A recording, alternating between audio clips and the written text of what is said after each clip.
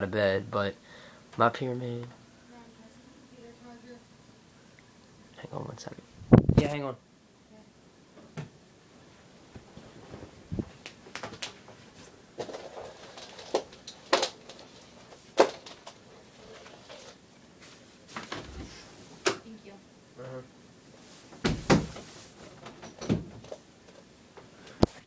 Sorry about that, my little sister came over. Okay, now that I'm out of bed, I'll just go ahead and add these three cans to my pyramid and show you how it's coming along, alright?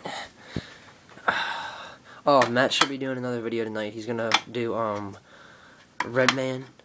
That's not something we've never done before, so that'll be awesome. Alright, I finally got five cans on the bottom of my pyramid. I'm glad. Here it is. Hopefully y'all can see that pretty well. I'm proud of that. I'm proud. Oh, man. Ugh. Make sure you all try some different dips, guys. Don't stay to the same thing. I know a lot of people that say, "Oh, I don't want to do different dips, and I don't want to do all this stuff," but try it. You might find something you like, like the Skoal Crisp blend. It's uh, citrus and apple mixed. Like it is amazing. Skoal mint. I never thought I'd like mini stuff, but it's good. And then a different kind of wintergreen, just amazing. You all be surprised how many dips are out there that you don't even know and you'll try and you like. I'm hopefully going to be trying some Red Man soon. I've never done it. I've heard it's really, really good. And hopefully, Matt told me it's good, so if Matt's lying to me, we're going to have problems. But my boy Matt wouldn't lie to me, I know that. Oh, another thing I'm, I, I want to mention. In gym class, every, the sophomore class is shooting archery right now. And I have to say, me and Matt are probably one of the best bow shooters in the sophomore class.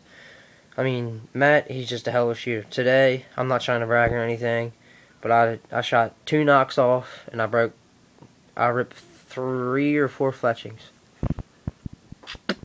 So I was pretty proud of myself. I mean, something I've, I mean, I've broken nocks before on my own arrows, but I've never done it in school. And the bows we shoot are piece of shits. You pull back 20 pounds and they shoot probably freaking. They probably it, it takes about three seconds for the thing to get hit, hit to the target at freaking.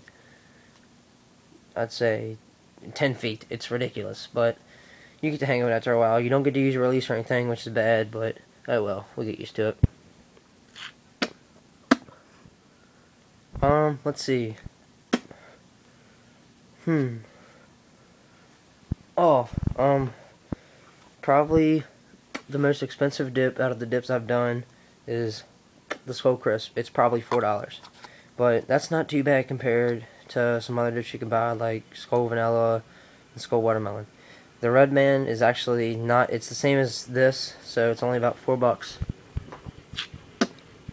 Um, let's see here. What else do I need to talk about? Um, oh, if y'all comment on our videos, don't put freaking try, don't try and be a smart ass.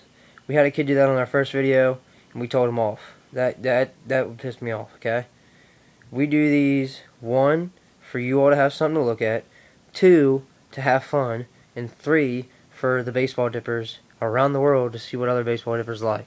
So, if y'all freaking comment, put please nice, put nice comments please, and actually tell us how our videos look and how everything goes and how what you think. So, alright. This is Baseball Dippers here. Peace out.